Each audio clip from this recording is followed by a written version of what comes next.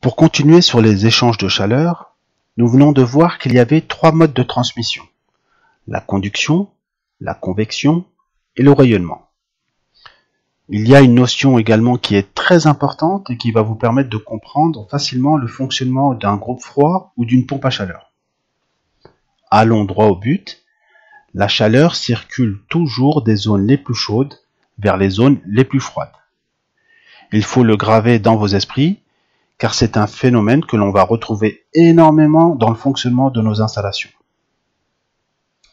Pour citer un exemple qui pourra vous servir de repère, en hiver, si j'ai une maison où la température intérieure est de plus 20 degrés Celsius et la température extérieure de moins 10 degrés Celsius, dans quel sens va se faire la circulation de chaleur?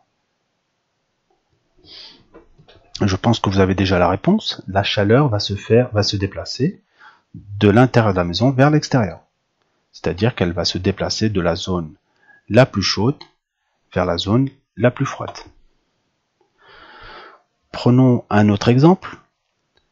Imaginons que deux personnes se serrent la main, même si en ce moment c'est interdit avec le confinement.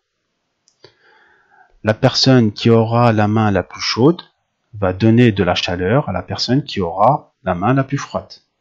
C'est-à-dire que nous allons avoir un déplacement de la chaleur de la zone la plus chaude vers la zone la plus froide.